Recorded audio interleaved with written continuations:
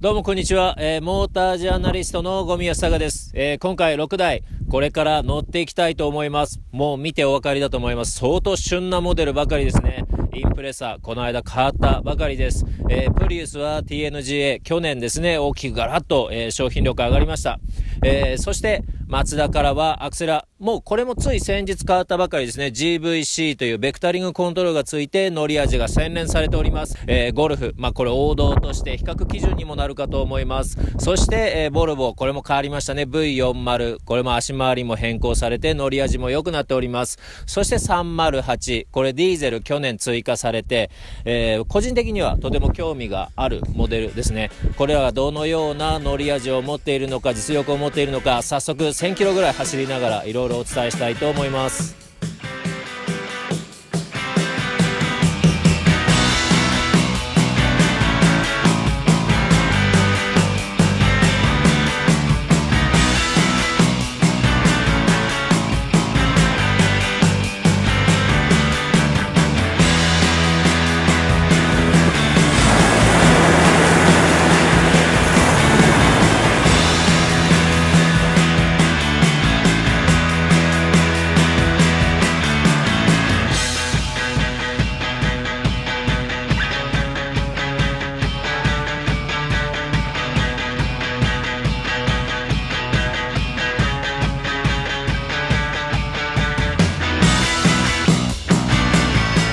はい、えー、今回はですね、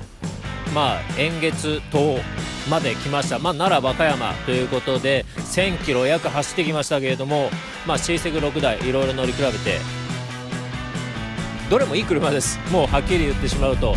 まあ、間違いはないと思うんですけれどもそれぞれ特徴があったので、まあ、こういう使用パターンの方にはこの車がベストだなそういうような特徴は見えてきましたあの細かくはウェブカートップでもいろいろレポート等も上がるとは思うんですけれども、えー、例えばプリウスとかはやはり結構街中が得意なのかなというのもありますね。えー、あとは V40 ボルボはですね思いのほかスポーティーにガンガン走れるっていうのが結構僕の中でも予想外の結果も出てきております。プジョーはやっぱり乗り心地含めてとてもいい仕上がりですね。でフォルクスワーゲン、えー、ゴルフはですねやはりまあ王道という言い方はできるかと思います。まあ間違いはないですね。で